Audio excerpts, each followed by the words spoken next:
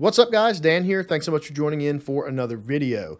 So today I'm going to give you a quick little tutorial on how to get your Fanatec CSL DD wheelbase to work with Forza Horizon 5. I didn't realize this, but apparently there are people who are still struggling to get this wheelbase to work on that game. And that is a shame because it is a ton of fun. So I don't think I'm doing anything crazy here. I'm just going through the regular uh, way of getting this wheelbase to work. Um, but since people seem to be struggling, I wanted to put together a video and show you what I'm doing, give you some tips and tricks, see if we can get it working for you guys too so you can enjoy the game with this wheelbase. So first thing I want to say is no matter what you're playing on, whether you're playing on an Xbox Series X, Series S, or PC, the first thing you need to do is you need to hook your wheelbase back up to a computer and you need to make sure that you have the most current firmware.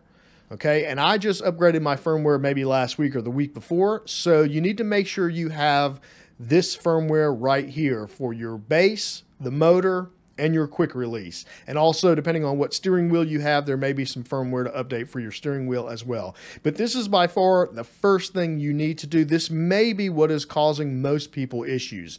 If you're using an older firmware, I am aware that it used to not work in this game, and people were having to use um, different workarounds to get the wheelbase to work, but you do not have to anymore with the latest firmware. So the very first thing you want to do is make sure your firmware is up to date. Okay, and then what I'm going to do since we're in Fanatec um, control panel real quick is I'm going to go to my settings. Now, I didn't come up with these. These are settings I found off the internet, but they do seem to work pretty well. So if you want to take a snapshot of this, this is my control panel settings uh, that I am using for Forza Horizon 5, and they seem to work pretty good. I've just saved them to uh, setup number five while we're on that subject, there is no, um, let's see here, uh, Fanalab. There is no profile for Forza Horizon 5 in Fanalab, as far as I am aware. So I know a lot of people have Fanalab start up on boot up of their computer. And so it maybe it's down here in the tray or whatever, but it's running behind the scenes just to make sure you don't have any issues, if you're going to play Forza Horizon 5, just go ahead and turn off Fanalab completely.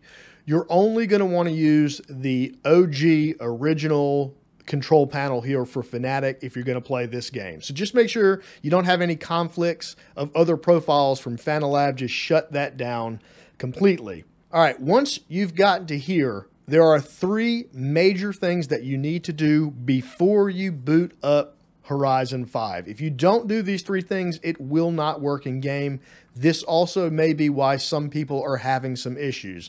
The first thing you need to do is you need to make sure that your wheelbase is turned on and that it is in compatibility mode.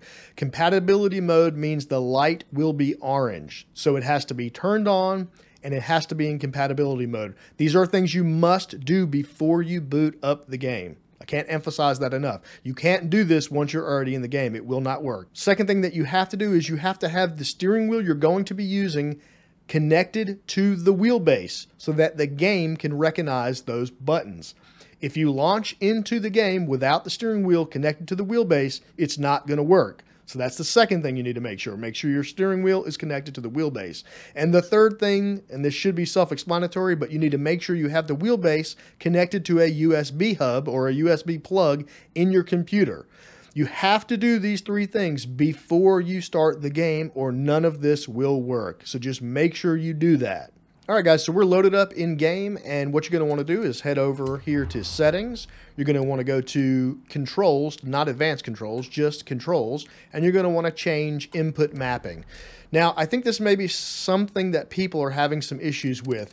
If you have a Fanatec wheelbase, it will recognize something, but it's not going to work perfectly. So what you want to do is you want to go over here and go to wheel, and then you want to if you look, there's all these things that it will default automatically. Uh, CSW 2.5 McLaren, this Porsche wheel, all this other stuff. You're not going to be able to bind any controls in these default profiles. So what you need to do, and this is the first time you're going to boot into the game, you need to go over to any one of these custom wheel profiles. For example, I'm using number five, but you can use any one of them, right? When you go into these custom wheel profiles, you can actually click on these and you can bind some kind of button, right? I didn't bind anything there because I'm not driving a convertible. But in these other non or in these other default profiles, you're not able to change these things. So you need to make sure you tab over here to one of these custom wheel profiles. If you've got your wheelbase turned on, if it was turned on, you've got it in compatibility mode, the steering wheel was on, and it was plugged into a USB hub, you will be able to tab over to one of these custom wheel profiles, and then you can map everything like you would in any other game. And for example, I'm currently using three different items. I'm using three different inputs and I'm having no issues with it. I'm using the Fanatec CSLDD wheelbase. I'm using a set of VNM pedals, which are a pretty high-end set of pedals, and I'm using a cheapo Thrustmaster uh, shifter, and they are working fine with these custom wheel profiles. Now, once you do this and set it, it should remember it. But what will happen again is if you get out of the game and you boot back into this game without one of those three crucial things in place, it's going to default you back to some other layout and your steering wheel, your wheelbase is not going to work and you can't turn it on while you're in game. It will never recognize it. These things have to happen before you boot into the game. So yeah, I don't think this is anything crazy. I know people used to have to use like emulators and stuff like that to get these wheelbases to work. You don't have to do that anymore. Just make sure you have the most current firmware.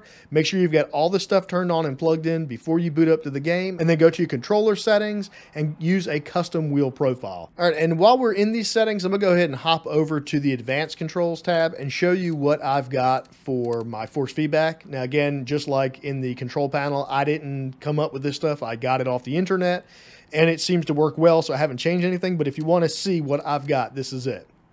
So I've got vibration scale at a 0.4, force feedback scale 0.8. Um, I'm assuming that's because it will clip if you go higher than that. Uh, center spring scale 0.1, 0.1 for wheel damper scale. You could probably go zero with those. Typically I do. Mechanical trail scale is one. Force feedback minimum force is one. Force feedback load sensitivity one and road feel scale 1, off-road scale 0.6, steering sensitivity 0.5. You can read this stuff. So screen cap it if you want to see it, if you want to copy these settings. Again, I got these off of the internet. These were recommended settings from someone else, but they seem to be pretty good. But hopefully this will help you guys uh, get your wheel working, your CSLDD working in this game if you haven't, because it's really fun to toss cars around. It's not the most realistic, doesn't have the best force feedback, but it feels good enough to go have some fun and go blast through some fields and all that stuff. So hopefully this was helpful, guys. If it was, please click the like button and remember to subscribe if you're not. And as always, guys, we'll talk to you in the next video. We'll see you later.